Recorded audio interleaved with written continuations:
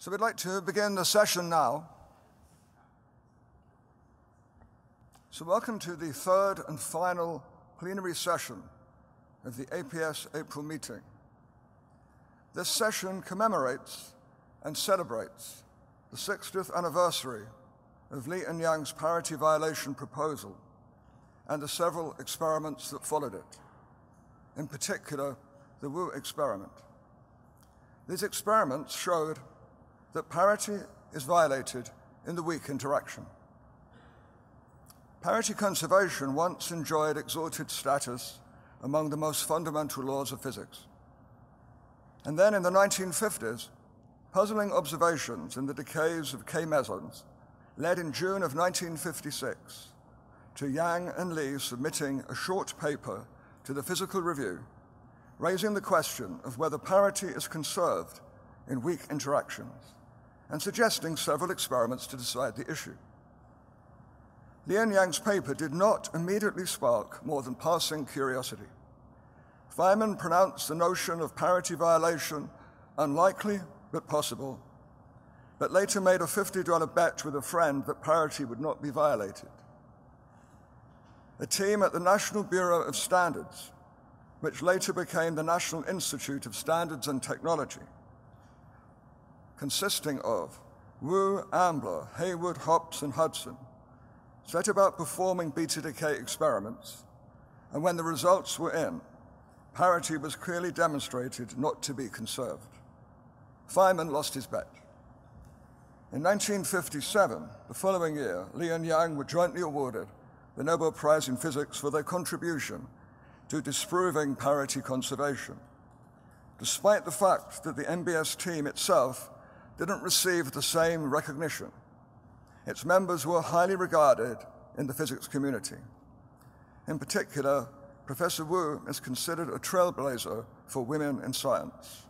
Born in China in 1912, she received her PhD from the University of California at Berkeley in 1940 and worked on the Manhattan Project during World War II. She was on the faculty at Columbia during her time on the parity experiments and remained there until her retirement. She won many awards.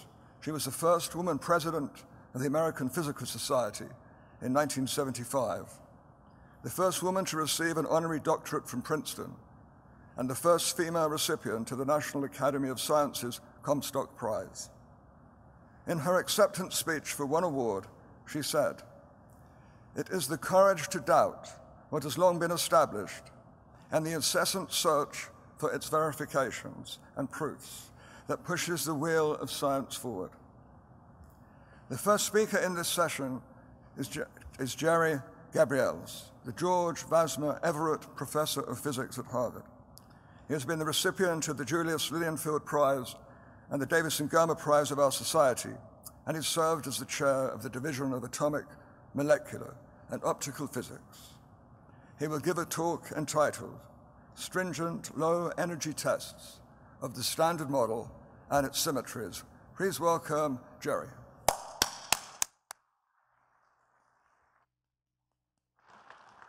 Thank you.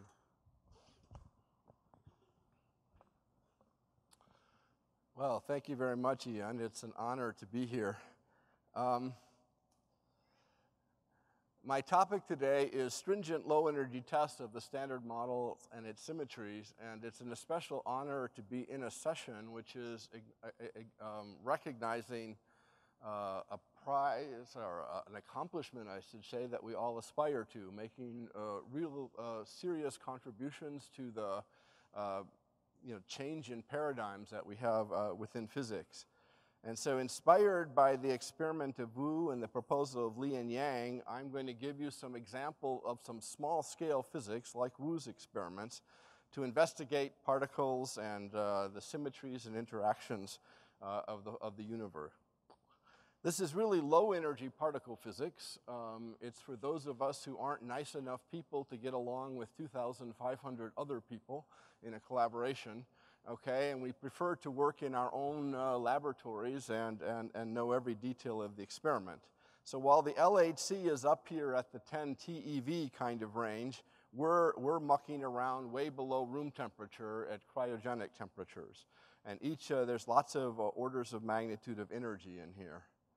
Um, so the, the, outline I'm going to give is, uh, is here. Uh, I'm going to illustrate uh, experiments, low energy experiments that have three kinds of objectives. Okay, they're all related, but they're, um, uh, but they're similar, okay, in spirit. First is testing the standard model's most precise prediction uh, by making the most precise measurement of the property of an elementary particle. That's actually happened in a small university lab rather than in uh, a big facility. And this is the electron magnetic dipole moment. The second example I'm going to give is testing very different predictions of the standard model and supersymmetry and other models as well. It's actually a generic thing. Um, this is the electron electric dipole moment measurement.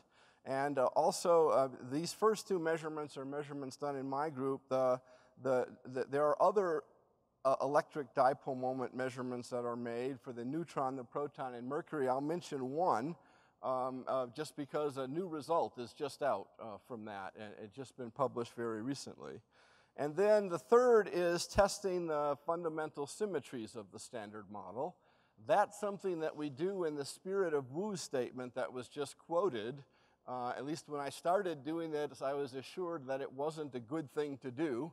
And I looked at the experimental evidence for CPT invariance, and I wasn't very um, impressed. And so once I realized that it was based mostly on the limitations of our theorists' imaginations, I decided we should go and try and measure it anyway. And here are examples, I'm not going to talk much about this, comparing the antiproton and proton charge to mass ratio and magnetic moments of the positron and the electron.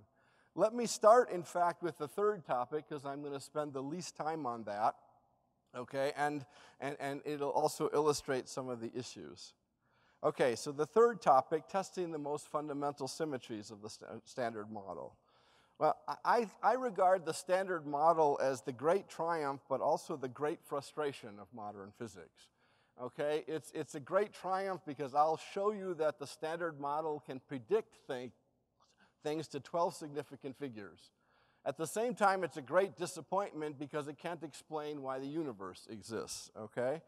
And uh, Here's the embarrassing mystery that we don't talk about so much. There's a big bang. It creates equal amounts, essentially, according to the standard model of matter and antimatter. The, the matter and antimatter find each other uh, as the universe cools. They annihilate, and that's the end of the story. Yet we have an experiment around, okay, that suggests it's not so. We have a whole universe made out of matter. So there's a loophole in the standard model that you can drive a universe through okay? And, and, and you know, these are, th this is an, a, a question that we really don't know the answer to. Now, we say that there's a standard explanation and we attribute it to Sakharov. Uh, if we have some CP violation, though we haven't found nearly enough to explain the imbalance in the universe, a violation of baryon number, which Ed will argue is something that we should expect, but it's a, a small amount, we haven't seen it yet, and thermodynamic non-equilibrium, which some, some don't even like in a Big Bang, if you put all of those together, then you're supposed to get an explanation. But quantitatively, it's not within many, many orders of magnitude of, of working. An alternate is if there was some CP, CPT violation and also violation of baryon number, uh, you, it, you could then have thermodynamic equilibrium. But both of these, to me, are sort of equally unsatisfying the, the point I'm making here is, is it's not so much that, that I know how to do experiments which will answer this question, but we know that there's something badly wrong about the basic symmetries that the standard model proposes. There's something we've missed. And so it seems to me to that it's important to do experiments which might potentially um, you know, reveal some of that. Okay, now you know, it, it, it, we're celebrating in this session the fact that many years ago, physicists were pretty convinced that parity was a good symmetry. Okay, well, uh, so much so that no one looked for quite a while. Uh, when, when they did, uh, uh, and that was Wu's experiment, then it wasn't a good symmetry. Uh, then we said, well, not to worry, a CP is charge conjugation and parity is a good symmetry. And some people told Cronin and Fitch, don't take too much beam time because, you know, we know the answer to this experiment. Okay, and fortunately they didn't listen and they went ahead and measured it anyway. And boy, CP is violated, and we don't really understand that in much detail. You know, we can cram it together in a matrix and add it onto the dirty snowball we call the standard model, and so now we say it's part of the standard model, but it doesn't really fit together, at least it seems to me, in a very tight way. Well, we're very flexible given our past uh, success. We now say we're even more sure that CPT is a good symmetry, and theoretically, it's, it's much more well founded. But in the end, I like to say God decides and we measure, okay? We have to go and look to see whether or not, uh, it's an experimental question, whether or not CPT is a good symmetry, not a theoretical question.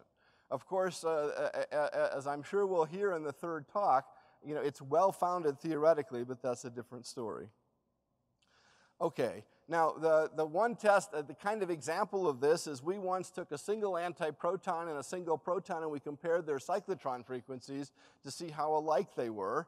Okay, and uh, parts in 10 to the 10, that's the sort of precisions uh, that one uses. Uh, you know, we were able to show that they had, well, we weren't measuring zero, we were measuring minus one. That's the ratio of the charge to mass ratios of the, of the two particles, and here's the number written down. Um, Okay, uh, over history, uh, you, know, the, uh, you know, if you use some of these low energy methods, you go, you know, a factor of a million or even more in this particular case beyond what was used at using nuclear and particle physics methods uh, at the time.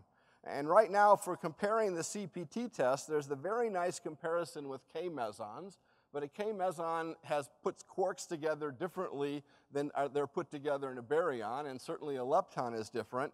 There's a very nice test with K-mesons. There's the electron-positron test with the magnetic moment that we're right now in the process of doing a new experiment that should improve that by a factor of 20 or more. And then there's the, the baryon comparison that I was just talking about. And some of us on a long term would like to do compare antihydrogen and hydrogen atoms, but I won't say anything more about that. So that was the first set of examples I wanted to give. These are experiments which are trying to probe as sensitively as we can but what's wrong with the symmetries of the standard model? There's got to be something wrong, okay? And, and all, all of us would like to be the ones who find it. Okay, now let's go back to the first topic. I started with the third. This is testing the standard model's most precise prediction. Okay, and uh, in order to do that, we had to make the most precise measurement of the property of an elementary particle. Now, people sometimes call me a precision measurement physicist. And I really dislike that, okay? Because let me say at the start, you only do a precise measurement if you're not clever enough to do an imprecise measurement and get the same uh, sort of intellectual content. Okay, so in, in some sense, it's, it's, it's, a, it's, a, it's a result of lack of imagination. But the standard model predicts the magnetic moment of the electron so precisely it's irresistible to not ch to check it. Okay, so here's the, here's the prediction of the standard model. The standard model says that the magnetic moment in Bohr magnetons, and that turns out we can measure that directly by, make, by measuring a ratio of frequencies, is given by this series. Sometimes it's said that this is a QED series. That's not really right. The first term is a Dirac term, and I don't know if you want to call that QED or not. The next term is, so Dirac's equation gets most of the moment right. Then there's a correction due to all of these, uh, these terms. Uh, now there's, there's, there's like 20,000 Feynman diagrams have been calculated to evaluate the coefficients of these terms. The fine structure constant is an input to the standard model. Here's the fine structure constant. Feynman said every theorist should put 137 on their office wall to keep them humble, okay? Because it's a reminder that the fine structure constant, which sort of de defines the scale of life in some sense, okay, uh, you know, we don't know where that comes from. But anyway, the, the, the, way to think about the standard model is the standard model relates one measured quantity, the magnetic moment, to another measured quantity, the fine structure constant. Okay? Now, if you look at the tables of fundamental constants, they're now determined, the fine structure constant is determined by taking our measurement of the magnetic moment and assuming all this standard model stuff is right. But what we really need is an independent measure of the fine structure constant, and then we can compare to what we measure to look at this theory bridge between uh, these two, two things. And then there's hadronic and weak and, and possible new physics contributions in addition to the stuff that we understand. The hadronic term okay, is actually a, a, a, a, very significant term, and that's why this is, is, is more than a Q, QED that's involved. Here's the coefficients that have been calculated. It's a theoretical tour de force, but I don't have time to talk about that. Here's the scale of the experiment that we do. Okay, you can see why we don't have 2,500 physicists because we couldn't fit that many in the room. Okay, and, and so there's a superconducting magnet, and we lower a, a skinny apparatus, and we have one electron or now one positron that sits in there. Okay, and we do experiments on it. We hold it for months at a time while we're playing games with it. Okay, what you really need is some really good students, okay? And you know, time flies when you're having fun. I woke up one day and realized I had been at this for more than 20 years. Now it's approaching 30, okay? And we're still making progress, still hopeful that we can make another big step forward. We don't like to make square root of two step forwards, we like to go for orders of magnitude. Okay, and the current team uh, here has a positron trap, and we're right now setting up to do a positron measurement. Hopefully that will work. Okay, the basic idea is you take one electron, you put it inside of this, this device called the Penning trap. There's a magnetic field and an electric field, and those hold it. We cool the particles so cold that we see the quantum structure in the cyclotron motion as well as the spin flips. And we manipulate one electron so that we can see quantum transitions. Here's a spin flip happening, and here's a, a one quantum excitation of the cyclotron motion okay? And by measuring the frequency of the drive that causes these, of the drives that cause these transitions, we can deduce the magnetic moment, okay? In addition, we need to get the fine structure constant measured independently if we want to te test the standard model. Uh, here's the formula as it's used. One has to measure the Rydberg constant, one has to measure some atom recoils, one has to measure some mass ratios. I don't have time to talk about all of those, but those are important, different low energy measurements then that have to be done to together get the fine structure constant nearly as accurately as we can get it from inverting the standard model expression and using our result. Standard model's greatest triumph, uh, I claim, is, is uh, well, it's a hyperbole, but it's worth thinking about. There's the prediction, which includes the fine structure constant, uh, the error in the fine structure constant. Here's the measured value. There's lots of digits. I don't know what they all are, nor do I care. The point is that they agree to about a part in 10 to the 12, which is a remarkable kind of agreement. We've actually measured to 3 parts in 10 to the 13, so if someone could measure the fine structure constant independently, more accurately, we could do a much better test, and we think we can do another uh, substantial factor in the future. We can also look to see if there's new physics and internal structure, but I don't, take I don't have time to talk about that. Now, this is a great success of the standard model. And yet, remember, I started with saying out the standard model can't predict why the universe exists. Okay, so that's an interesting uh, juxtaposition. It sort of keeps physics life interesting yet and, and provides some motivation. Okay, now I'd like to go to my second and last topic. Okay, this is testing very different predictions that the standard model has versus proposed fixes to the standard model, like supersymmetry and so forth. Again, a different kind of point of view.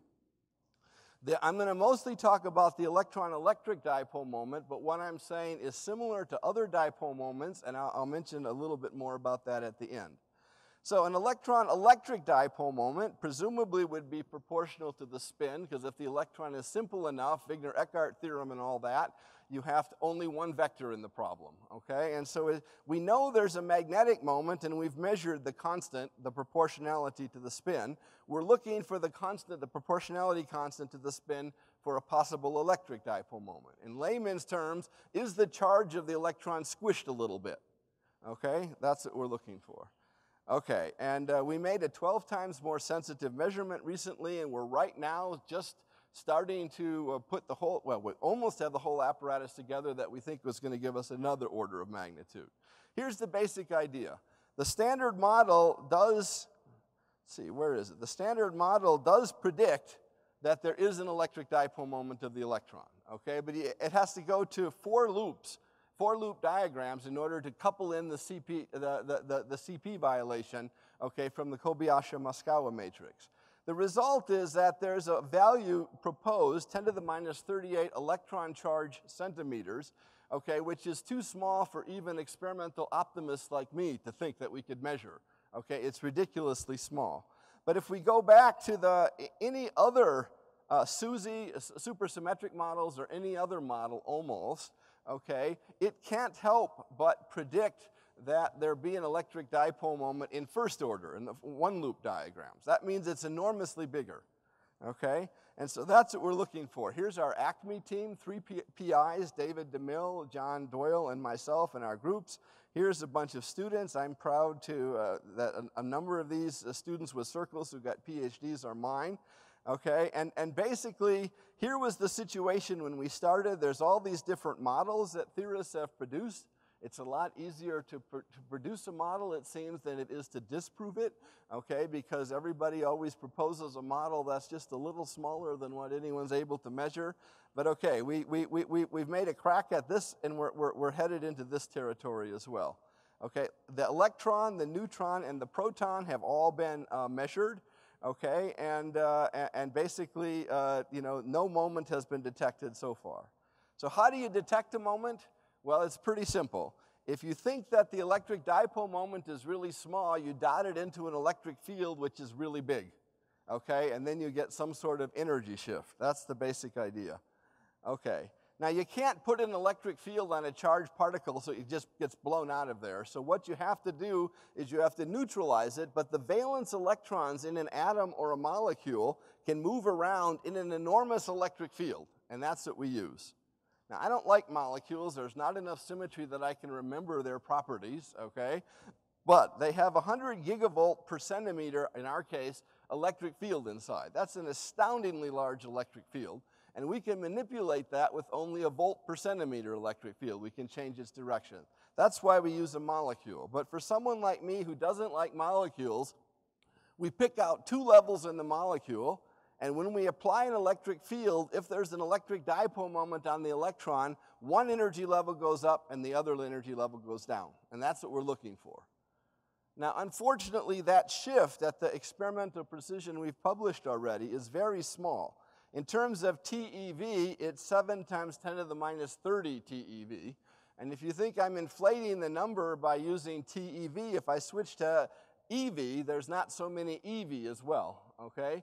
In frequency units, it's only 2 millihertz, so you can't just resolve these levels. Instead, what you do is you prepare a linear superposition of the two levels, and we do that with lasers and the polarization, and we can pick a coherent superposition of these two levels. It evolves in time as it moves through space in an electric field. And as it evolves in time, the two levels, they, they, they evolve differently, okay, because they have different phases okay, and, and, because they have different energy levels. And then we do a, uh, a Ramsey type experiment, if you know what that is, but basically it's a quantum interference experiment to detect that phase, and the phase is what we measure, okay? So uh, we, the theorists have to tell us, they play an important role. They have to tell us what the size of the internal electric field is that one sees on average we're kind of reassured that a very crude atomic orbital calculation and two molecular calculations all agree well enough, okay, for our purposes, okay? And in the end, we didn't find an electric dipole moment. We were only able to set a limit. So that's as important uh, uh, uh, to physics, I think, as, as but less, little less exciting, okay? And, and, we'll see what happens. Here's our limit. It's now below 10 to the minus 28 e centimeters. In terms of energy units, we're, we're constraining physics on the 1 to 3 TeV scale. Okay, I won't go through this because I don't have that much more time, but we're pretty conservative as low energy physicists. After we did our dimensional analysis, we put a prefactor of a tenth in there. It may be, uh, my, one of my theorist friends said you should have called that 10 to 30 TeV, but okay. Uh, there's also one scalar parameter that we make a constraint on, but I won't talk about that. For the electric dipole moment now, we've moved the limit out here, so we've, we've helped uh, make some of the, these models more difficult to uh, uh, you know, take as seriously. But theorists are versatile people. Norman Ramsey always said after you disprove their theory, it only takes a month or two and it reappears. That's fine tuning, right? You adjust something in the theory and, and we'll see how that goes. But we're right now, we have a goal to try and go another order of magnitude. Now, it's really hard to get this model, okay? But that was explicitly constructed to get around any limit we could throw in that direction, but you do what you can. Now, other EDM experiments are also important, okay? We need more electron EDM experiments to check our result. Neutron and nuclear EDMs are sensitive to other sources of CP and T violation, so they're important for other reasons. And there's, a pro there's proposals to do the proton. That's going to be really hard, it seems to me, but, uh, but there are some limits that have been set. I just want to mention the work, recent Mercury EDM experiment, okay, done at, at, at, uh, at University of Washington, because they've improved their result by a factor of four. And, and you can see that there, there's a, a large number of parameters that they put constraints on. These are because there's quarks and things inside of the nucleus that we don't have in the electron. So that's why it's important to measure uh, some of these as well. Interestingly, at least in principle, they now measure the neutron EDM, I think, a bit more precisely than the Grenoble experiment did, but it's basically at the same level, okay? And it's a very different way to do it and much less direct. Still no particle EDM has been detected, okay? Uh, here's where the proton, the neutron, and the electron are. Here's the mercury uh, itself, it's, its EDM. There's a lot more experiments that have been done. And uh, so, in summary, let me just say that I've tried to illustrate that you know in a university labs you can you can do some of this stuff. It's not so easy and it takes a long time. It takes lots of toys, but some of us enjoy that. And then I want to end up uh, with a commercial inspired in part by the experiment of Wu and the proposal of Lee and Yang. Uh, uh some of us are starting a Center for Fundamental Physics at Low Energy. Um, there's exciting new opportunities available for new faculty members. They need to promise, though, to do Wu-like experiments, okay? There's new opportunities for postdocs. They only need to aspire to do Wu-like experiments. And then there's exciting opportunities for graduate students. They only need to desire to do a Wu-like experiment. So, all right, thank you for listening.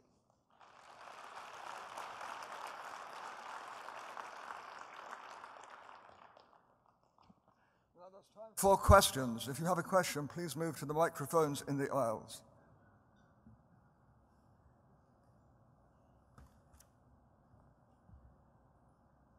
Could you make your own measurement of alpha? Uh, we can't make, we, we, it depends. If, you, if you're satisfied with believing that the standard model theory is correct, then we measure alpha we have not measured alpha in a different, using a different set of theoretical notions than that, okay? If we had time and a good idea, we certainly would try, yeah. Who won the bet with Feynman? I don't know. I wish it had been me, uh, but uh, I don't know. I, it, it's a great story, though, and you know, as much respect as we all have for theorists, okay, um, you know, it, it's, it's a good thing, I think, that we don't always take what they say as gospel, okay? Uh, I mean, for example, if we discover a CP violation, there'll be even more papers in the arXiv and PRL over the next six months than we had when we measured our EDM, I think, and I, have lost count of that number. So, I mean, it, it, it's just the way physics works, so, yeah. Are there any further questions? Can you elaborate on the elements in the seesaw that you alluded to? What are the three sides, so to speak? Uh, well, no. but it's, it's a method, I'm, I'm sure Ed can, okay? So I'll, I'll, I'll, I'll punt to him. But, you know, as, as, one is, as, as one is trying to figure out why we don't have baryons, there's various mechanisms for trying to explain that. And some of them involve coupling in leptons and transferring an imbalance in one case to another. And, uh, but no, I can't, I can't say anything uh, that I think that will help you, no. But Ed can, I have great, great faith, so. Yeah. Any further questions? If not, let's thank Jerry again.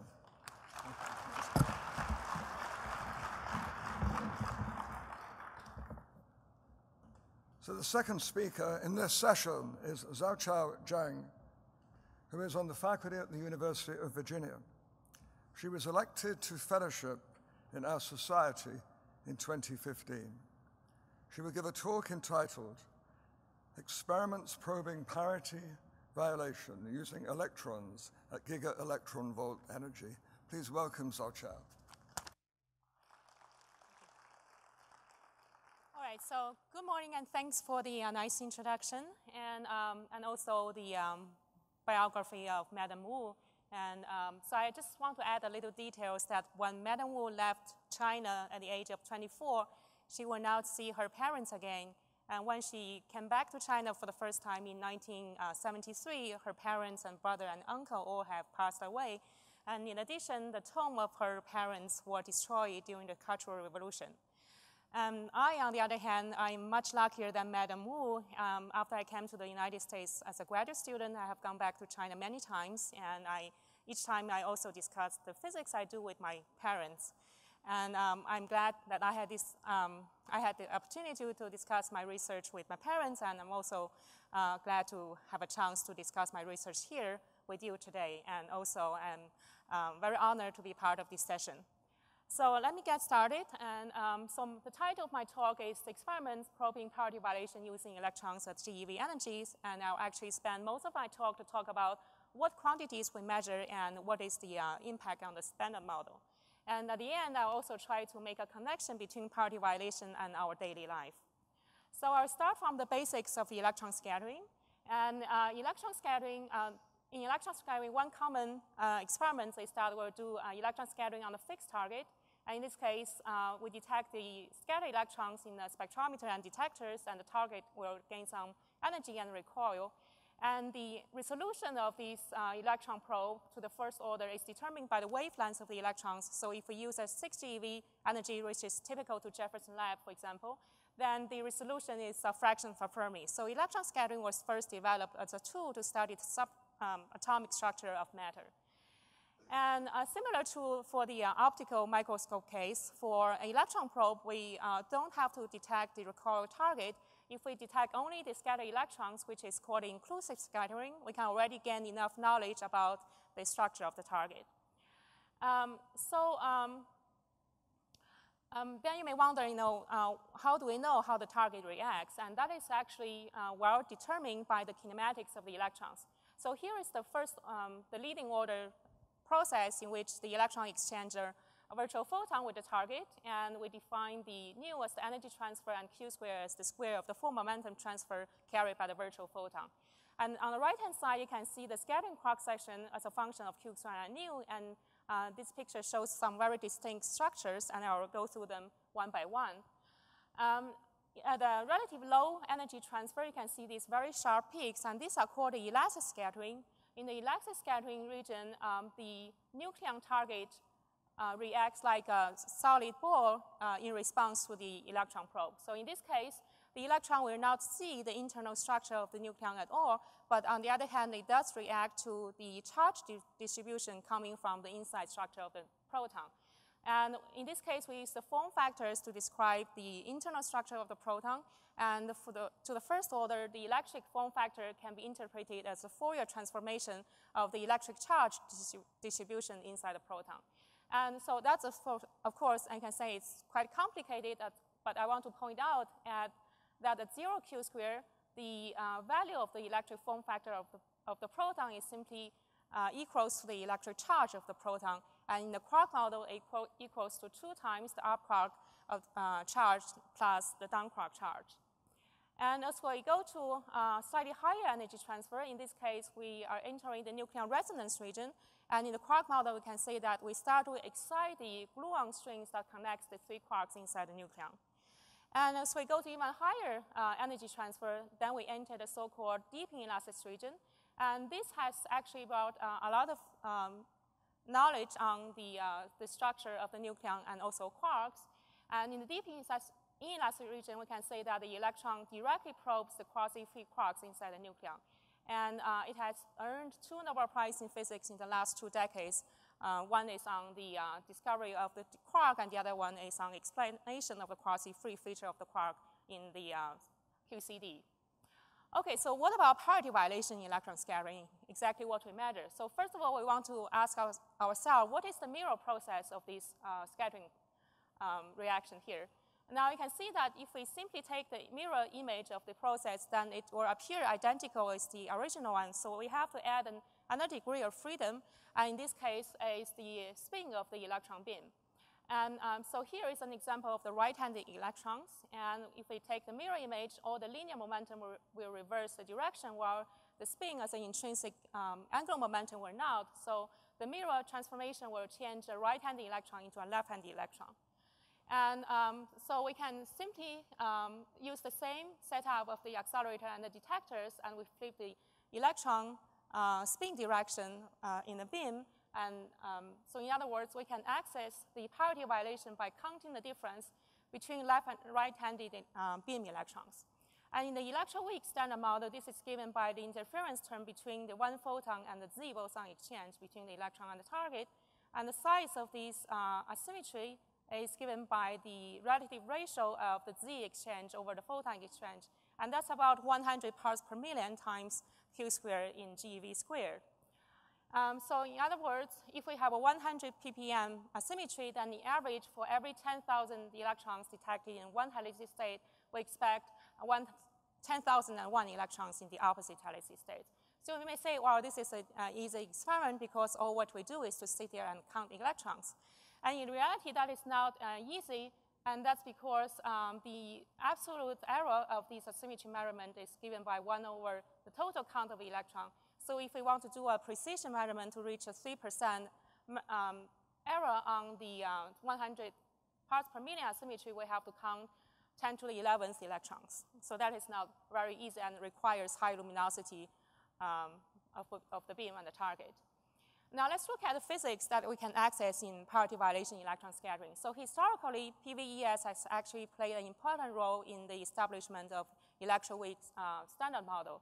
We know that parity violation was um, discovered in 1957, and then in 1968, um, the uni unification between the electromagnetic interaction and weak interaction was already proposed by Weinberg, Salam, and Glashow, but it was not until 1978 when the first PVES experiment was done in SLAC that uh, we especially the fact that um, the neutral weak current is parity violation and we measured uh, uh, for the first time the value of the weak mixing angle. And it was uh, after that experiment that we accepted the, uh, this model as the standard model of electroweak physics.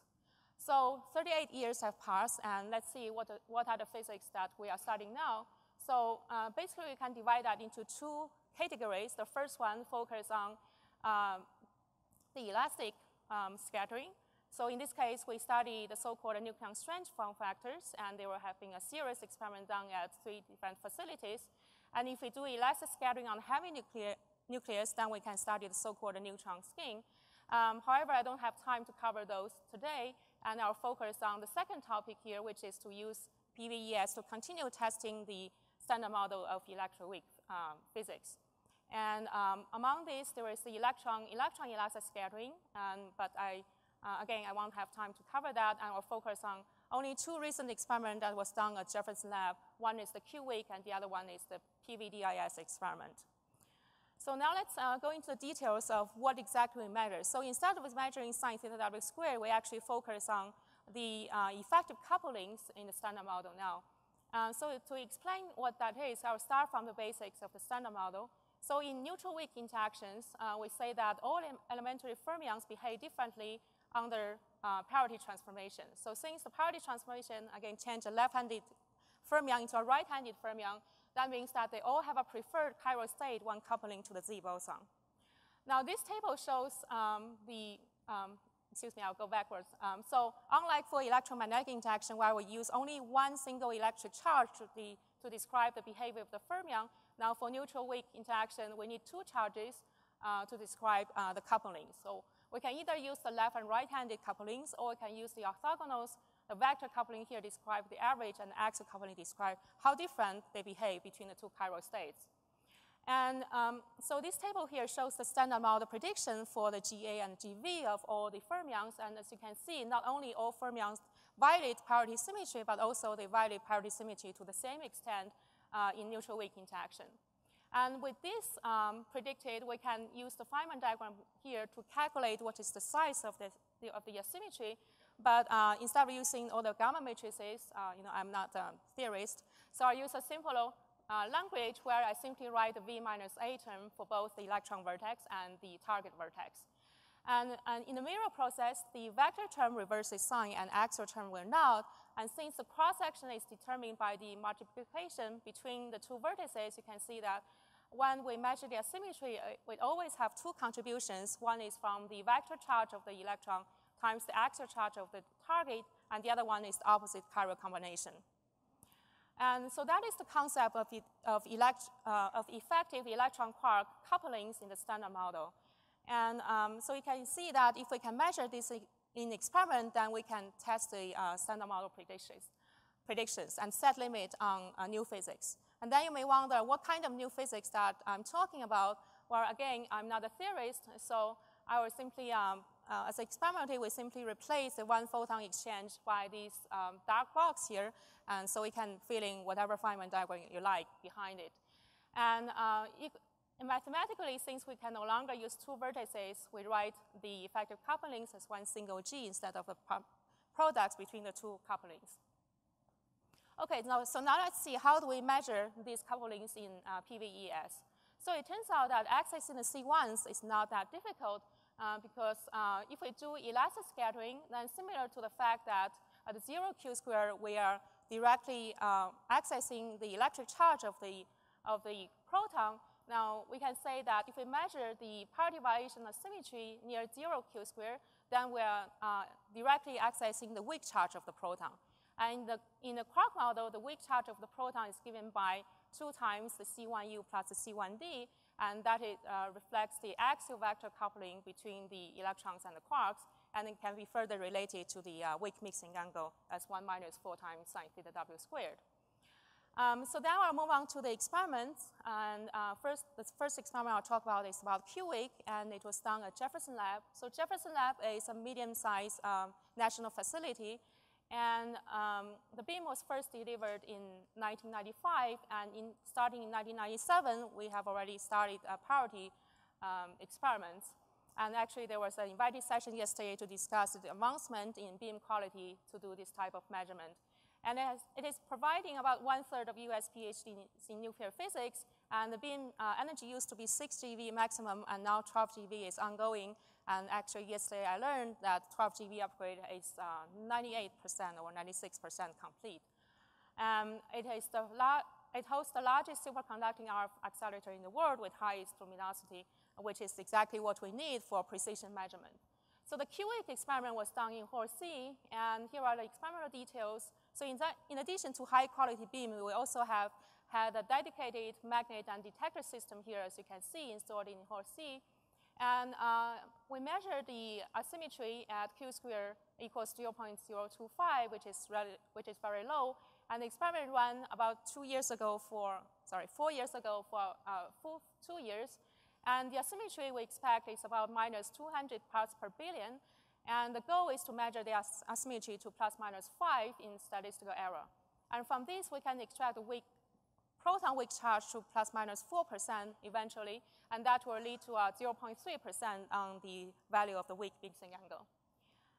And the um,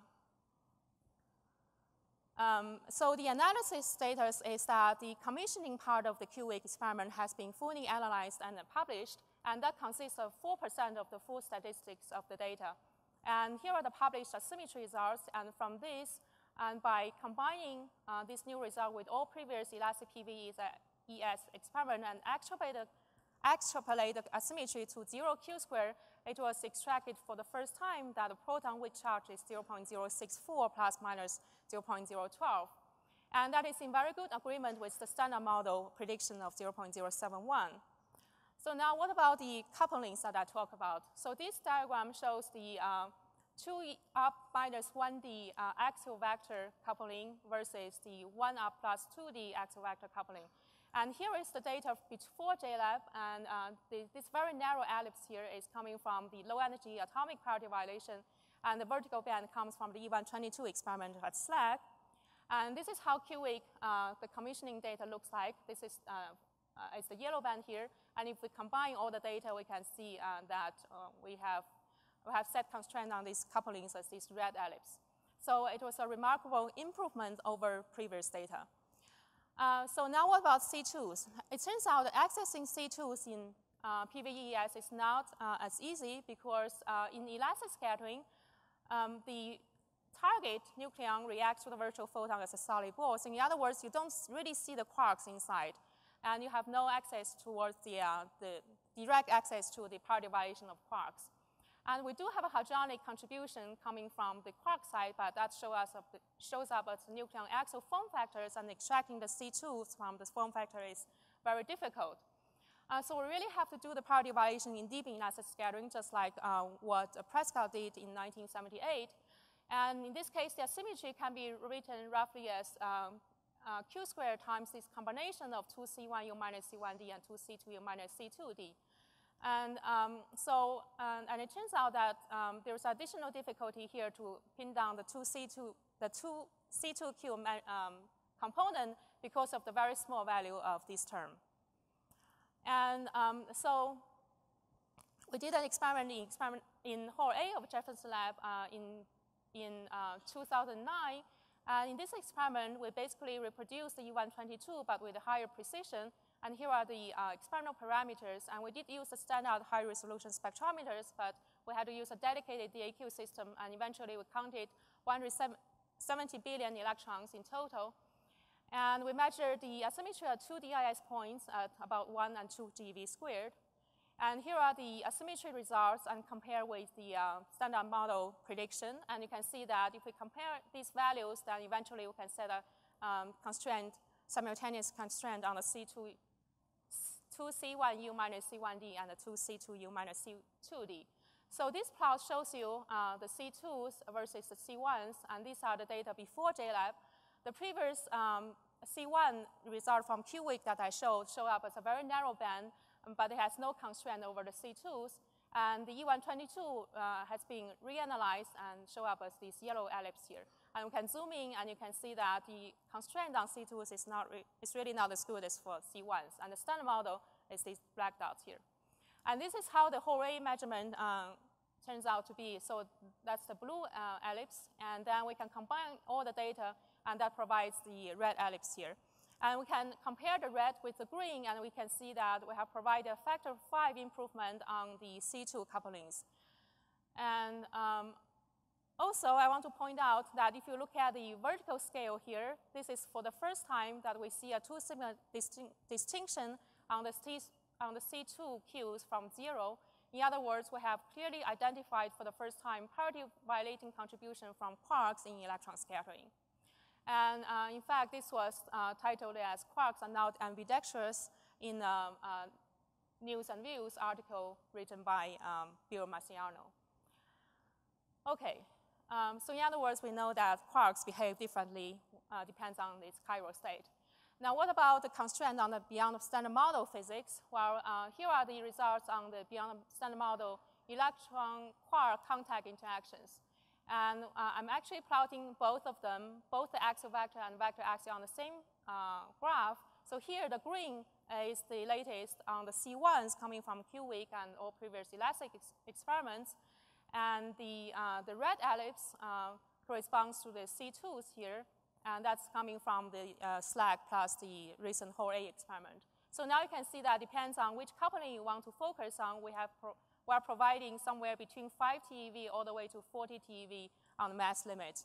And these are complementary to uh, results from the Large Hadron Colliders because we are uh, really probing different observables.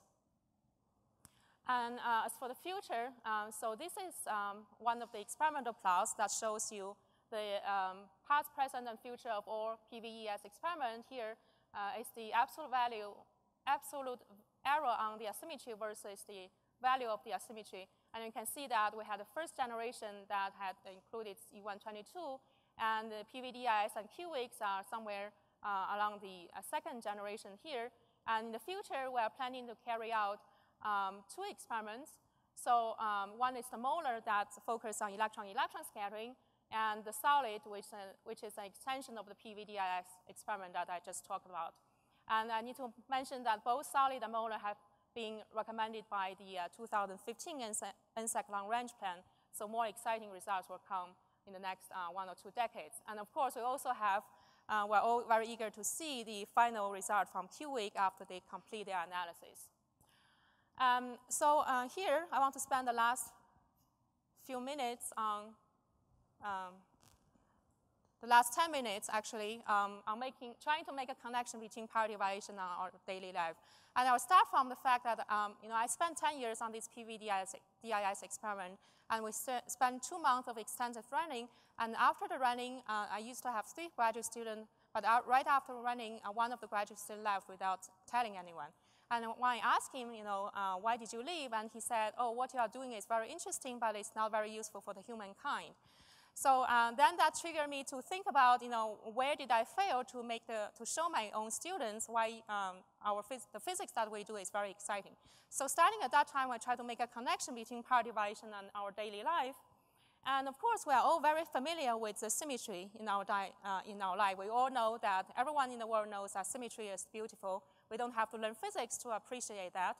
And um, in fact, there is a little story behind that pavement picture, and you can ask questions if you like. And uh, um, so sometimes I wonder why we like symmetry and without the knowledge of physics. And uh, the conclusion is that maybe that's because our daily life is so complicated that we keep finding a way to simplify it. And in this case, symmetry really fulfills this strong desire. Um, on the other hand, as a physicist, we, we do know that uh, symmetry is beautiful, but on the other hand, without the breaking of the symmetry, the world is, will be very boring, and in fact, very, very boring. In the first uh, talk, you have, you have already learned that one possible explanation of the uh, matter dominance over antimatter uh, is the CP violation here. So in other words, without some kind of violation of, uh, of symmetry, uh, our universe will not come into, into existence. And um, so then I started to wonder, how does parity violation show up in our daily life? What is the, how does it manifest itself in our um, macroscopic world? So I started looking for evidence of parity violation in our daily life, and of course the evidence is everywhere, especially if you go into the field of biology. So outside of physics, uh, the concept of chirality is actually familiar to uh, a lot of people. Uh, so an object that cannot be superimposed on this, on this mirror image is called chiral. And uh, in biology, it turns out that all, all living organism, um, organisms contain almost only left-handed amino acids and right-handed sugars. And uh, for everyone in this room, uh, we all have right-handed DNAs, and only Spider-Man have left-handed DNAs. And if we can ever engineer a left-handed sugar, then we can eat it and taste the sweetness while we, in the meantime, we don't really gain weight. Um, and here is another example. The two spikes here, the caraway and the spearmint, they are identical in the molecular structure, but the only difference is in, the, in their chiral directions. And um, also, pharmaceuticals must be uh, chirally correct to work. And for physicists in this room, I asked this question last year already, but for physicists in this room, if you think you know chirality very well, then I would like to challenge you on the question, do you know the difference between chirality and helicity? So that's something to think about. Um, and um, so here, um, I would like to raise the question, um, and, and, I think this is a very um, controversial question here. I studied parallel to the fact that some symmetry breaking may determine the existing of our universe. I started to thinking whether there is a connection between parity violation and the, and the homochirality that exists uh, in our world. In other words, I started to wonder whether parity violation has played a role in the fact that the DNAs turn out to be all right-handed. And um, I know that is already uh, controversial, and I want to take one step further, and I want to argue that uh, since uh, that in, to some extent we can say that homochirality is a crucial um, ingredient in the development in the development development of life because life is a very complex system. And in order to develop that complexity, you need to have some uh, symmetry breaking here. Um, so I want to draw the second arrow here. And if you go all the way, you can argue that, well, maybe eventually physics does have a determining effect in uh, shaping our world in the sense that uh, it played a crucial role in the creation and existence of life. And uh, you may think that this is a very uh, uh, brave question, but um, I chose this because I had, three I had three ideas in the past two years, and this is the least challenging one. Um, so I thought it's less problematic. But anyway, uh, so last year, actually in this similar talk at this very same meeting, I raised this question, uh, this very same slide here. And after the talk, um, I was given some uh, hand-waving hand-waving answers, uh, like you can explain the chirality using um, spontaneous symmetry breaking, and, and so on and so forth. So I was, I was very happy to see this um, article here in Nature News that force of nature gave life its symmetry. So it turns out that in one of the um, these atomic or uh, AMO experiment, it was found that um, electrons from nuclear decay tend to destroy certain organic molecules slightly more often than they destroy their, their Im mirror images. So I felt like, you know, my uh, uh, idea of uh, the connection ha finally had a little proof here. So um, actually, our, uh, this is my summary slide or summary, one of the summary slides.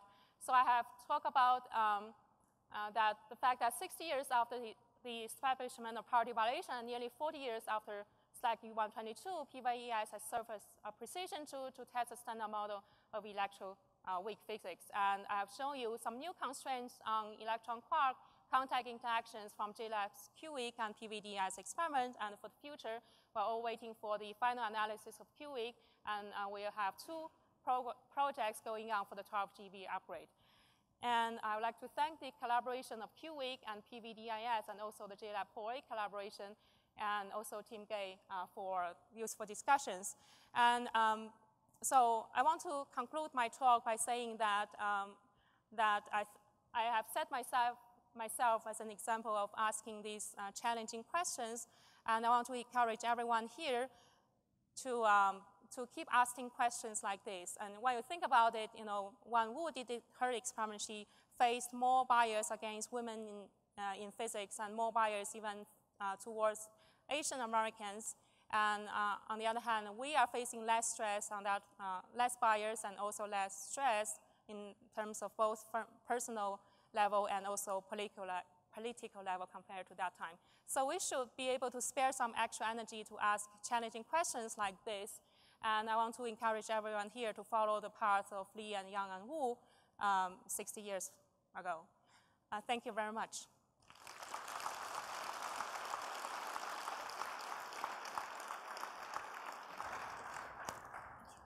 There's now time for some questions. Please move to the microphones in the aisles.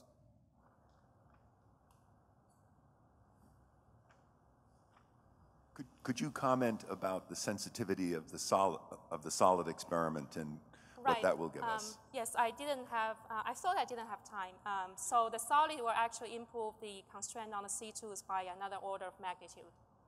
And the mass limit by square root of, square root of 10.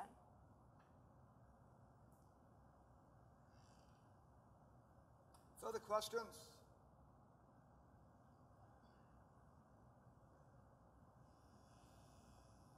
In one of your slides, you said that there uh, one third of all the nuclear physics PhDs uh, are produced at Jefferson Lab. I was wondering if you did any determination of how many are left-handed or right-handed. No, I haven't.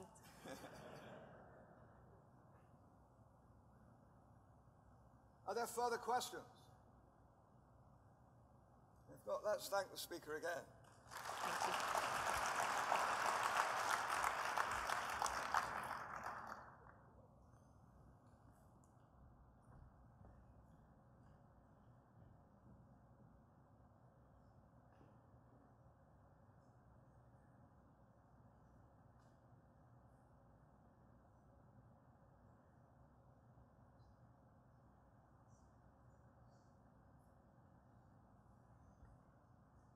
Okay, so before we move to the final speaker, there's a couple of announcements and a couple of observations. The first is that many people in the last couple of days have asked me, are the slides online? And the answer is actually yes. Not everybody's realized that they're online. They're, on, they're online throughout the meeting.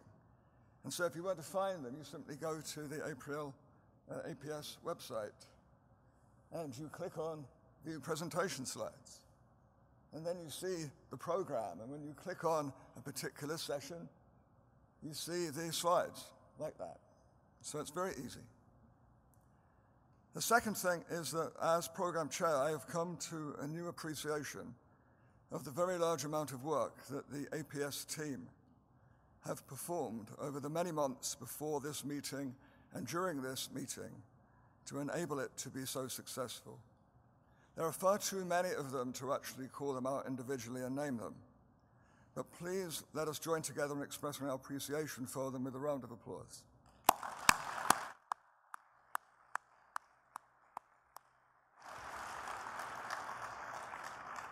The third is an observation, and that is that the April APS meeting brings together a unique nexus of physics communities from astrophysics, particle physics, nuclear physics, and gravitational physics, and also brings together our various fora. And so this meeting provides a really unique opportunity for our society to generate a scientific synergy whose importance we can never underestimate. Whenever you go to a session that's not in your own division, you get new ideas. It's very exciting.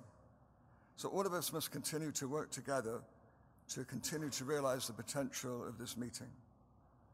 And fourth, uh, I was in the elevator going back to my room uh, after one session, and I bumped into a bunch of students, undergraduates from the University of Millersville, who were attending this meeting.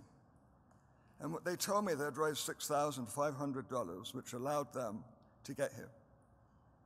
Some of them had never been this far west before, and they told me this meeting was exciting and inspiring and the best experience of their undergraduate careers. So that's another reason why these meetings are important. So now we move to the final plenary speaker of this April APS meeting. That speaker is Ed Witten, one of the most distinguished colleagues we have. He's a Simonyi professor at the Institute for Advanced Study at Princeton. And he was this year the recipient of the inaugural APS Medal for Exceptional Achievement in Research for discoveries in the mathematical structure of quantum field theory that have opened new paths in all areas of quantum physics. His talk is entitled Symmetries and Geometry. Please welcome Ed Witten.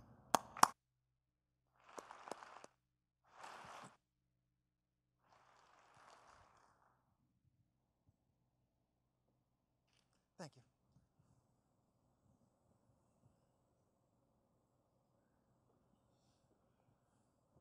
So uh, thank you very much for the kind introduction, and it's a pleasure to have the opportunity to present this uh, talk here at the April meeting in Utah. So today we're having the second of two plenary sessions in which we're celebrating advances that involved finding that apparent symmetries of nature are not quite valid. So this session is on the 60th anniversary of the experimental discovery that parity is not quite a symmetry of nature, even though it's a perfectly good symmetry of all the physics that we experience every day. And yesterday, we similarly celebrated the 60th anniversary of the first observation of the neutrino, but the session revolved around more contemporary experiments that showed that lepton number symmetry, or at least the differences between the separate lepton number symmetries for the three types of leptons, is not quite a good symmetry of nature. Even though these symmetries had been well supported by a lot of experience in elementary particle physics. For example, the Nobel Prize winning two neutrino experiments had been motivated by observations that seemed to indicate separate conservation of electron and muon numbers, which I'll call Le and L mu. Now, although I certainly wasn't in physics at the time, parity non-conservation must have come as a big shock. A prime lesson of the first half of the 20th century had been that the central role of symmetry in nature. But here was a perfectly good and perfectly available symmetry that nature was wasting. And Jerry began his talk, the first talk of the session, by reminding us how shocking it was when it was discovered. By the time that violation of the lepton number symmetries, or at least their differences, was discovered, the rise of the standard model had brought a change in perspective. To understand this, we have to recall that in the standard model, a different kind of symmetry is primary. That's gauge symmetry, or local symmetries that can be made separately at every point in space-time. So the standard model greatly extended the role of gauge symmetry, which had been central in Einstein's theory of gravity, and also which was a possible tool, although not so central, in classical electromagnetism. So it's going to be hard to give proper references in this talk, but I'll say that um, uh, a paper of Steve Weinberg's back in um, 1979 is a good reference, a reference for what I'll be saying in the next few minutes. So before the standard model, baryon number, which I'll call B, and the lepton number symmetries, LE and L mu, and by extension L tau, even though it was only discovered after the standard model. But all these symmetries were presumed to be fundamental, although of mysterious origin. However, the standard model gave a different perspective, in which these symmetries can be interpreted as indirect consequences of gauge symmetry, and in a sense, low energy accidents, or at least low energy corollaries of gauge symmetry.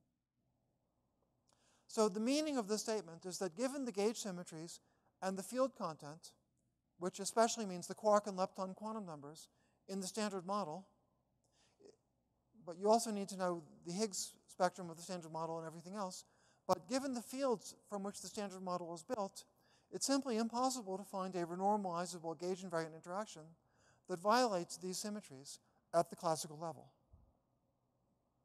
So, for example, in the case of lepton number, the operator of lowest dimension that you can make from standard model fields that violates lepton number is a dimension 5 operator, schematically involving two Higgs doublets and two lepton doublets. And since it has dimension 5, that has important implications.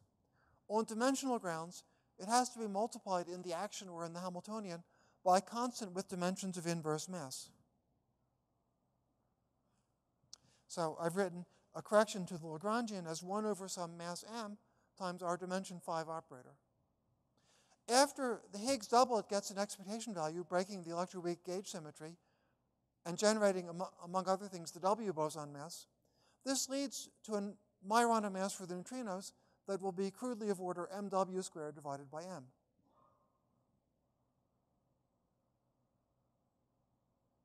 If you apply the same logic for baryon number, you find that to explicitly violate B at the classical level, we need a dimension 6 operator, which I've written schematically, and here Q is a quark multiplet. Well, what might we expect M to be? In the 1970s, physicists tried to guess what M might be based on grand unification and running of standard model coupling constants. But from a modern point of view, you might just take the experiments that were reviewed yesterday for the observed values of the neutrino mass differences. And then if you take at face value the formula that m nu should be of order mw squared over m, you'll find that you need m to be about 10 to the 15 GeV. With a lot of uncertainty because we don't, even if the basic idea is right, we don't know how literally we were supposed to take that formula. mw squared over big M. At any rate, though, even allowing for uncertainty, it's an incredibly large mass scale, way beyond what we are able to measure in any other way except from the strength of gravity, from the value of Newton's constant, but close to what's needed in theories of grand unification of particle forces. So these observations, which were the subject of yesterday's session, are at once the main direct support for the idea of some kind of grand unification, at a very high energy at which standard model couplings converge. And they're also the main support for the idea that gauge symmetries are the fundamental ones, and global symmetries exist, approximate global symmetries exist, to the extent that they are forced upon us by gauge symmetries.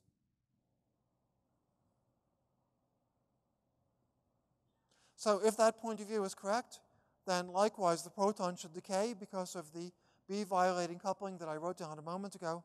And if we naively use the same value of m as seen for the neutrino masses, its lifetime might be close to the experimental bound of about 10 to the 34 years. I say might be because unfortunately the proton lifetime goes as the fourth power of m, and our reasoning is too crude to really know what m we should use in that formula. To really clinch the picture, we'd like to observe a Majorana mass of the neutrinos to show that all three of the lepton numbers are violated, and to observe nu- nuclear decay to show the same for B. In the case of the Majorana neutrino mass, we have a fairly clear picture of what sensitivity is needed for a discovery, but unfortunately, this is less so for the proton lifetime. But if we could really observe proton decay, that certainly would be epoch making, and we would get a lot of new information.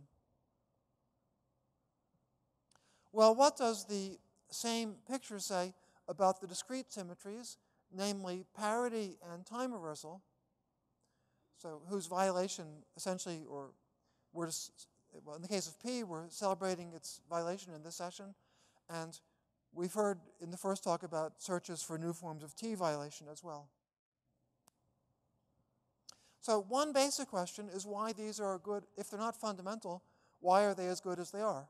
In other words, why are they respected by the strong and electromagnetic interactions, even though they're not fundamental symmetries of nature? Well, in the case of electromagnetism, you get a nice answer. There's simply no way to perturb QED by a renormalizable interaction that violates any of the symmetries I mentioned. Well, it almost works for QCD, but before telling you about the almost, I just want to stress that for QCD, we should be worrying about flavor symmetries such as strangeness or the third component of isospin, as well as symmetries I've mentioned so far. For QCD, we almost get the right answer with one big exception. So, all, with exception I'll mention in a moment, all observed symmetries of strong interactions are automatic symmetries in the sense that given the gauge invariances and field content of QCD, these interactions can't be violated by renormalizable interactions. The exception is that P and T could be violated by a so called topological term.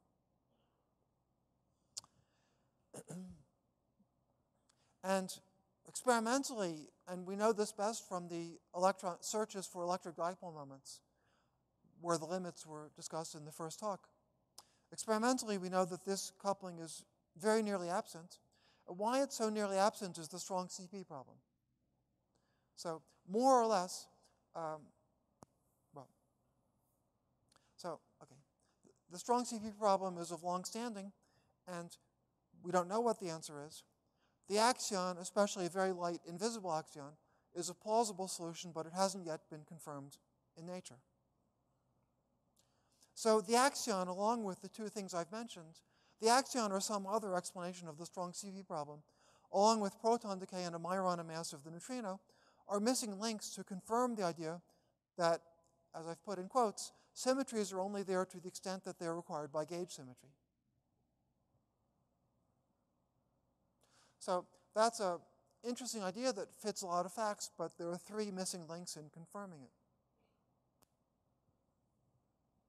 So if we ignore the question about the theta angle, the status of isospin and strangeness and P and C and T in a low energy world dominated by QCD and electromagnetism is analogous to the status of lepton number differences in the full standard model.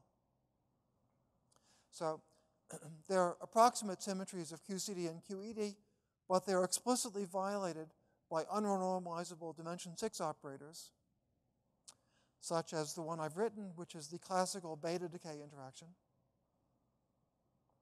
So historically, it, well, what it meant to say that P was found to be violated in the um, 1950s, what Madame Wu and her team discovered is that the Fermi interaction, describing weak interaction, had to be corrected to include parity violating terms in the effective dimension 6 operator that described the weak interactions. At any rate, observation of this dimension 6 correction to the strong and electromagnetic interaction pointed to what we now know as the weak scale, rather as nowadays observations of neutrino oscillations plausibly point to new physics at a gut-like scale.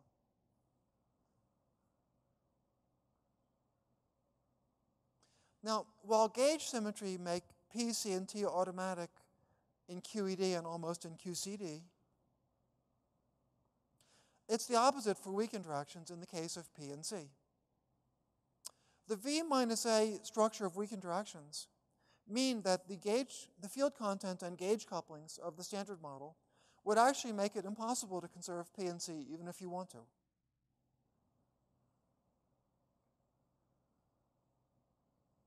That's actually one of the main insights of the standard model. So in the 50s, P and C violation were a shocking surprise but the standard model was a creation in which, except by adding more fields, you wouldn't be able to conserve P and C even if you want to. So that's one of the main insights of the standard model, and it's related to the fact that although there's a hierarchy problem in physics involving the Higgs particle mass, there's actually no really comparable problem involving the bare masses of quarks and leptons.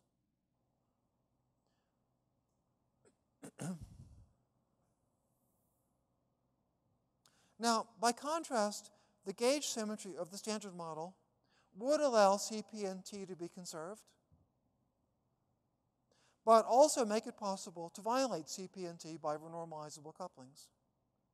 That last depends on the insight of Kobayashi Maskawa that it only works, as I said, if there are at least three families, but there actually are three families. And it turns out that CP and T are violated by weak interactions more or less as much as would be possible given the structure of the gauge symmetries and the values of the particle masses. So actually, CP and T are violated even more weakly than conventional weak interactions, than usual beta decay, but the structure of the standard model actually makes that a consequence of gauge symmetry plus the values of the particle masses. So there is a bit of a mystery involving the particle masses.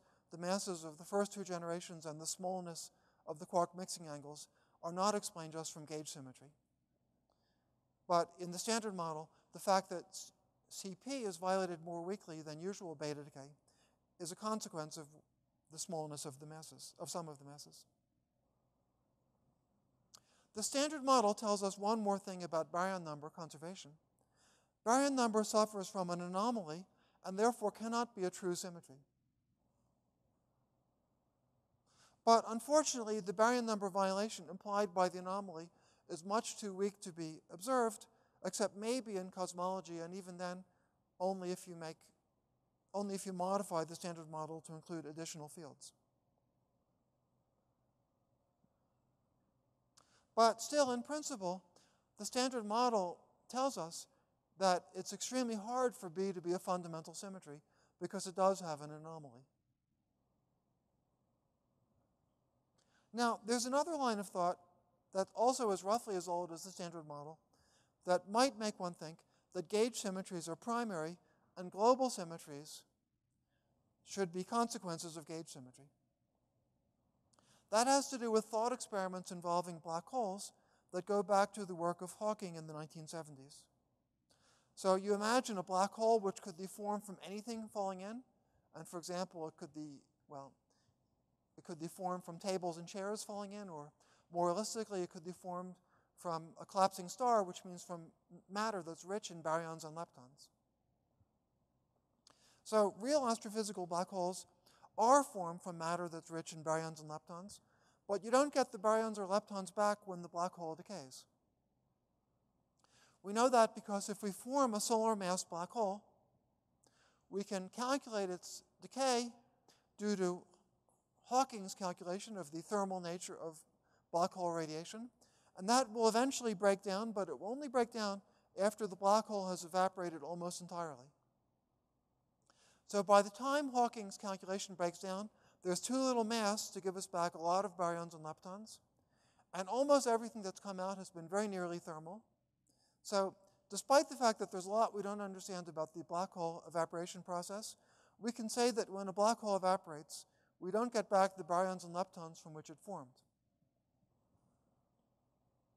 So the formation and evaporation of a black hole does not conserve B or L, and that can be taken as an additional indication that B and L could, could not be complete symmetries of nature. However, black hole physics does conserve gauge quantum numbers such as electric charge or magnetic charge, if we were lucky enough to discover magnetic monopoles, because gauge quantum numbers can be measured as flux integrals at infinity. So, for any isolated system, whether it's a black hole or not, if it has a charge q, it produces an electric field q over r squared at infinity, and just from the long distance properties of Maxwell's equations, you can deduce that that flux integral has to be an exactly conserved quantity, totally independent of what's happening inside. So black hole formation and evaporation conserves electric charge, but it really does not conserve baryon or lepton number. So this suggests that in a model of nature complete enough to include both quantum mechanics and gravity, the only true symmetries would be gauge symmetries. And some confirmation of this comes from the fact that it's true in string theory, which, although speculative, is the only consistent theory we have that incorporates both quantum mechanics and gravity. And sure enough, you find, as the black hole thought experiment suggests, that the symmetries in string theory either are not exact symmetries or else they're gauge symmetries. Sometimes you have to look a little bit closely to see this, but if you do look closely, you always find out that in all of these string theory models, the exact symmetries are gauge symmetries. Let's, however, go back to the black hole because there's an interesting gap in the reasoning.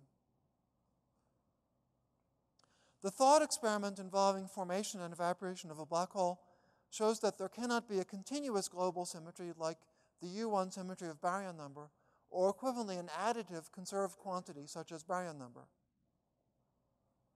But this uh, argument would allow us to have discrete symmetries. For example, it would allow baryon number to be conserved only modulo n. So for example, if n is 5, that means that if a black hole formed from 10 to the 10, sorry, 10 to the 57 plus 4 baryons, to give an approximately realistic number for a real astrophysical black hole, well, the 10 to 57 could annihilate because that's a multiple of 5, but you'd get back 4 baryons in the end. So we certainly don't understand black hole formation and evaporation well enough to rule out that possibility. So in a world with quantum gravity, you might ask, are there discrete global symmetries where I put the emphasis on discrete, like a mod 5 symmetry? Or should even the discrete symmetries be gauge symmetries? But first, we'd better decide what this question means. So, textbooks tell us how to distinguish continuous gauge symmetries from global symmetries. A continuous gauge symmetry is associated to a massless gauge field if it's unbroken. And conversely, if it's broken, the global symmetry gives a Goldstone boson, but the gauge symmetry doesn't. So a broken or unbroken symmetry produces either a massless gauge boson or a massless Goldstone boson, depending on whether it's a gauge symmetry or a global symmetry, and that's how we would distinguish them. But how do we decide if a discrete symmetry is a gauge symmetry? So I think what it means to call a discrete symmetry a gauge symmetry is that when you go around a loop in space-time, you might come back to the original state rotated by the symmetry. For example, if a theory has a cosmic string that produces a symmetry rotation, so the cosmic string here has been drawn in green. I'm not sure. Uh, uh, okay, the cosmic string has been drawn in green. And if you go in a loop around the cosmic string, you might come back rotated. And if that's the situation, then if you found such a cosmic string in the sky, you would observe that the symmetry was really a gauge symmetry. Now, if you don't have such cosmic strings, then it's consistent, physically consistent to have a symmetry that's a ZN global symmetry and not a gauge symmetry. But you ought to ask, could it be a gauge symmetry? So I think what a yes answer means is that the symmetry can be consistently defined on a space-time manifold where again the fields undergo a symmetry rotation when they go around a non-contractible loop. So in general, a global symmetry may not be gaugeable because there might be anomalies if you try to do so, and this is true for both continuous and discrete symmetries. Now, with this interpretation of what it means for a discrete symmetry to be a gauge symmetry, also the discrete symmetries in string theory are gauge symmetries. So string theory at least would hint that even the discrete symmetries in the real world would be gauge symmetries. But since we're celebrating today the 60th anniversary of the discovery of parity violation, we should ask the question not only about internal symmetries like lepton number, but also about space-time symmetries. So we know in the real world parity is not a true symmetry, neither a gauge symmetry nor a global symmetry, but conceptually we might ask, in a p-conserving theory, is p a global symmetry or a gauge symmetry? Again, we have to decide what the question means, but what I think it means is the same as for discrete internal symmetries. Being able to gauge parity symmetry would mean that the theory can be defined in an unorientable spacetime such that the fields undergo a parity transformation when one goes around an orientation reversing loop in spacetime. And then in a theory in which P can be gauged, actually gauging it means that the quantum gravity involves a sum over spacetimes that include unorientable ones. So with this interpretation of what the question means, you can ask, in a theory that has parity symmetry, can the parity symmetry be gauged? Rather oddly, perhaps, I don't think this question was asked traditionally. For all the obvious examples, the answer is yes.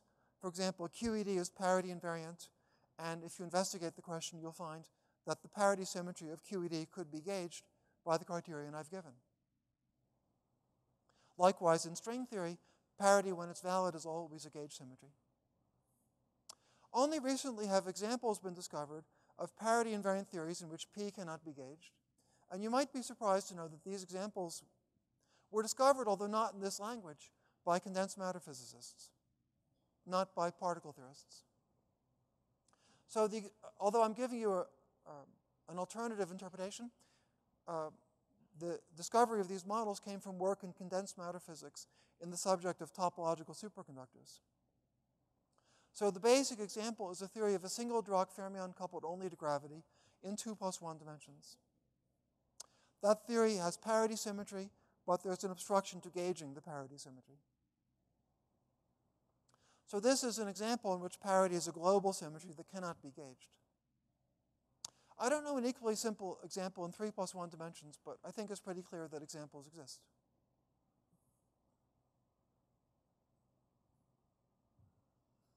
So to understand these matters a little more deeply, we should reconsider the physical meaning of gauge and global symmetries. Well, what is a global symmetry? The meaning of a global symmetry is simple. A global symmetry acts on physical observables. For example, the helium nucleus has a baryon number of 2. That statement has nothing to do with any microscopic description of the helium nucleus. It's just a fact about the physical nucleus. And baryon number is conserved in nuclear interactions. That's another true fact, regardless of any microscopic description. Gauge symmetries are more elusive because they typically do not act on physical observables. For example, the strong interactions in the standard model is described by an SU3 gauge symmetry, but that symmetry doesn't really act on anything we observe. Gauge symmetries are redundancies in the mathematical description of a physical system rather than properties of the system itself. And this distinction is unavoidable. That's made clear by the existence of non-perturbative dualities, which at least as properties of mathematical models of four-dimensional quantum field theory became well established in the 1990s. So if a, if a system has a group G of global symmetries, that symmetry group is present in any description. But it's not so for gauge symmetries. Different descriptions of the same physical system can have different gauge symmetries. So there isn't time to give a detailed example, and all detailed examples take some explanation, which I don't have time for. But in this sentence, I've said what's one of the best understood examples. So the global symmetry is always the same in any two descriptions of a given system, but the gauge symmetry can be different. So neither of the two gauge symmetries is intrinsic to the system. Gauge symmetry has an invariant meaning that must be reflected in any description only if it produces conservation laws that result from conserved flux integrals at infinity, such as electric or magnetic charge in the case of QED. There are various ways for this not to happen. There are three best known ways Higgs in confinement and simply infrared properties that make it impossible to define a charge operator. So for example, in the standard model, there are three factors in the gauge group, but only one leads to conservation laws. Now, to say this in one, well, to say the same thing again, perhaps, global symmetry is a property of a system, but gauge symmetry is a property of a description of a system. What we really learn from the centrality of gauge symmetry in modern physics is that physics is described by subtle laws that are geometrical. It's hard to explain what that means, but you know it when you see it. What I think it really means is that the laws of nature are subtle in a way that makes it that defies efforts to make them explicit without making choices that don't do justice to nature's subtlety. The difficulty to make these laws explicit in a natural and non-redundant way is what gauge symmetry means. We can see the relation between gauge symmetry and global symmetry in another way if we imagine whether physics, uh, physics as we know it could one day be derived from something much deeper, maybe unimaginably deeper than what we now know. Maybe the space time we experience and the particles and fields in it are all emergent from something much deeper. Condensed matter physicists are accustomed to emergent phenomena that have no simple relation to a microscopic description. So, to get an idea about the status of symmetries in an emergent description of nature, we might take a look at the experience in condensed matter physics. So, global emergent symmetries in condensed matter, for instance, separate conservation of spin and orbital angular momentum, are commonplace, but they always are approximate symmetries that are explicitly violated by operators of higher dimension that are irrelevant in the renormalization group sense. So global symmetries in emergent descriptions like condensed matter are always analogous to the sim global symmetries that I've been telling you about. The LE minus L mu that we, whose non-conservation we celebrated yesterday, and the CNP whose non-conservation we've been celebrating today. By contrast, in condensed matter, there often are useful low energy descriptions that have exact gauge symmetries that are emergent, meaning they do not have partic any particular meaning in a more microscopic description.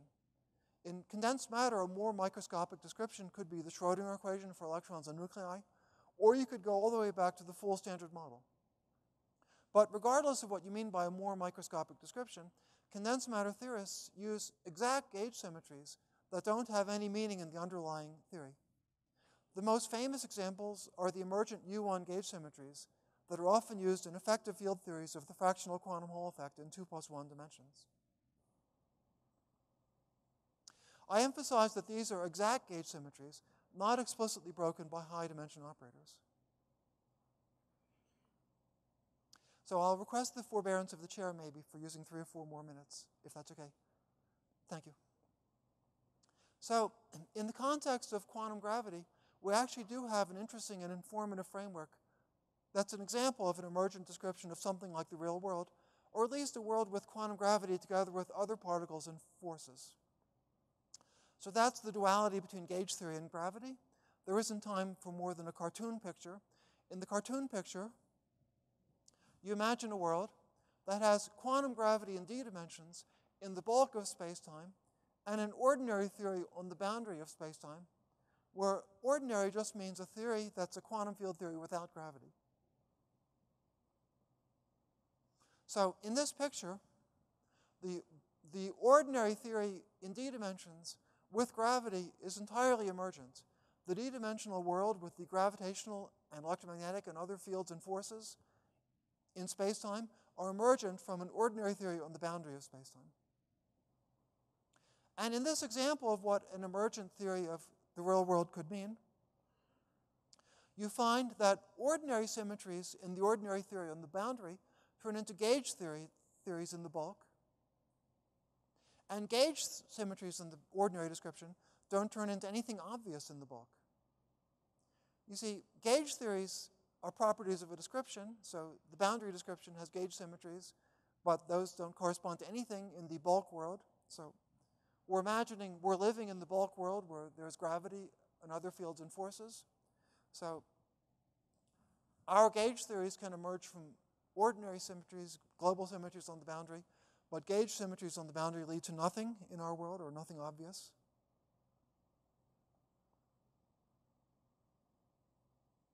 And so this is actually an example of a rather concrete picture where the real world with gravity and other forces results from an emergent description. And you see that the bulk description will have gauge symmetries but won't have global symmetries except for approximate global symmetries that follow from the gauge symmetries in the way we've been discussing. So the bulk spacetime and all its gauge symmetries, including Einstein's general covariance, are emergent, and the bulk theory does not have exact global symmetries. So in short, the violations of LE minus L mu and of L mu minus L tau that we celebrated yesterday remove what would have been an objection to an emergent description of nature. Of course, this picture would become clearer if we could complete it by observing the Majorana mass of the neutrino and the decay of the proton, and for good measure also by finding an invisible axion or at least something else that would give a rational understanding of the strong CP problem. In fact, if an axion field is discovered, its coupling to QCD would itself give an example of what I've been talking about, an approximate global symmetry that's explicitly broken by operators of higher dimension. In this case, the approximate symmetry is the axion shift symmetry, and the operator of higher dimension is the one that enables the axion to solve the strong CP problem. Thank you.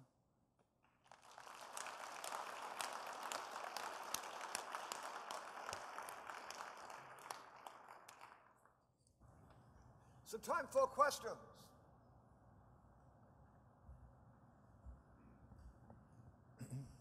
It's common to interpret gauge theories as you have as representing unfortunate mathematical redundancy, uh, whereas I question whether this does justice to gauge theories. I think of them as, uh, and can we think of them as uh, model, like a, uh, the, the gluing together of monocrystals in a polycrystalline material. In fact, the name connection comes from the original geometric insight that you were patching together flat pieces of manifolds with the connection. Yes. And uh, much like dislocations and other local uh, Yes. right in a crystal. And maybe these two views are compatible in the sense that if you viewed um, extending the symmetry of each monocrystal over the entire crystal where it doesn't really exist is the redundancy, and that's not a trivial mathematical redundancy, it's the essence of the theory. Yes. no.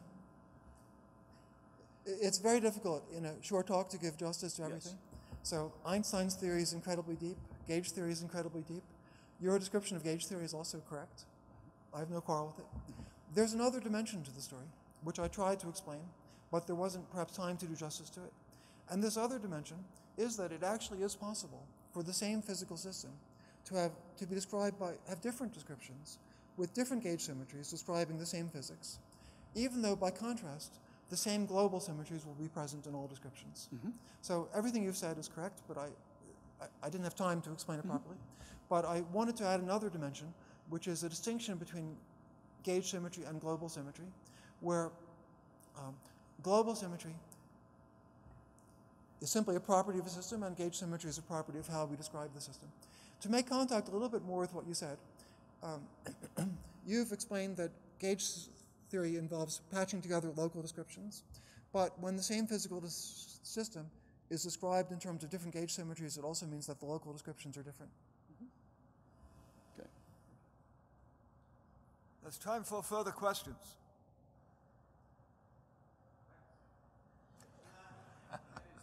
Is, the double covering of the rotation group by the uh, spin group in, in, in spinors a representative to you of a discrete symmetry? It's, it's, it's not actually a group by itself, it's a quotient of the uh, spin group. What, Well, first we should discuss what spin itself. So spin is rotation symmetry, and a rotation is an example of diffeomorphism.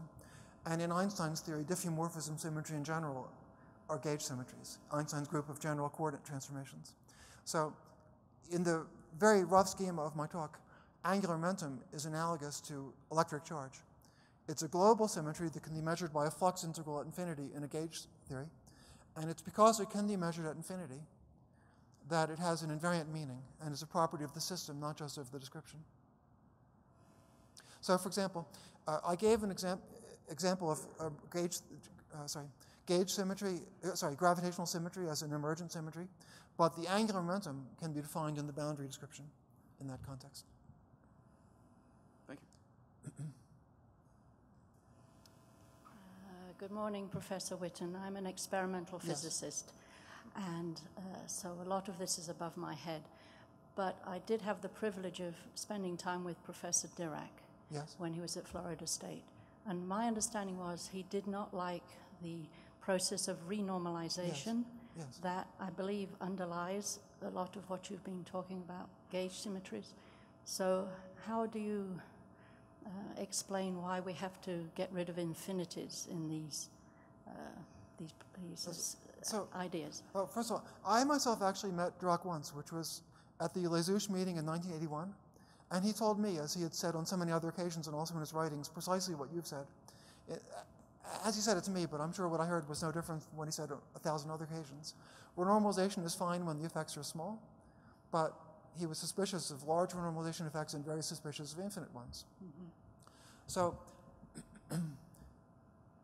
the next major step, I would say, was introduced by Ken Wilson and others, who suggested that we should think in terms of a very large cutoff, so that our renormalizable theories are valid below the cutoff and the renormalization effects aren't really infinite. There's another answer, which uh, I'm very curious what Dirac's attitude about it would have been if he had lived a little bit longer. It came around a little bit too late uh, for him, perhaps. If you do a Google search for what every physicist should know about string theory, you'll find my article that appeared in Physics, Physics Today about five months ago. And it contains what I think is the most elementary explanation of how the infinities disappear in string theory, the infinities you're mentioning. So, since Dirac uh, so strongly believed that physics should be based on a framework that was finite without the normalizable infinities, it would be interesting to know whether, had he lived a little longer, he might have been interested in that explanation, but unfortunately, we will never know. Thank you. How does the possibility of CPT violation fit within the intellectual framework that you've sketched so, So- beautifully? That's really a, a great question. The question was, uh, well, to restate it slightly, do I see any prospect for CPT violation? I've looked countless times with total, a total lack of success for a theoretical framework in which CPT might not be a symmetry. The reason you might think it might not be a symmetry is that the proof involves the ability to make an analytic continuation to Euclidean signature, and the meaning of that step is a little bit mysterious, and you might wonder whether it's an exact thing or just something in our present theories. I can't say anything. I've been no more successful than anybody else at finding a sensible way to modify our present framework in which CPT would not be a symmetry. So I encourage the search. and if the search for a CPT violation is successful, we'll all be baffled. And there might be a lot of papers on the arXiv a month later, but I suspect they won't be convincing ones. It might take longer than that. Comment on uh, any potential connection between the axion and string theory, or any, or your views on Well, potential connections. One of the really intriguing things about string theory is that string theory has trouble to not generate axions. So all of these standard string, model, string theory compactifications generate particles with the properties of axions. The reason there isn't a firm prediction is that there are QCD axions, but to really solve the strong CP problem, you need to make sure that the QCD instanton is the dominant effect that violates the axion shift symmetry. And figuring out what, whether that's true and what the effective value of F axion would be um, is very difficult and model dependent. So there isn't any, even though string theory kind of forces you to consider axions, there isn't any real prediction. But it does make one think that the search for axions, including new ways to search for axions at larger values of f sub axion, um, is extremely important. Are there further questions? So along similar lines about Majorana neutrinos in string theory, because you certainly emphasize the importance of, Yes. in terms of beyond the standard model, but what about string theory and Majorana neutrinos? Well,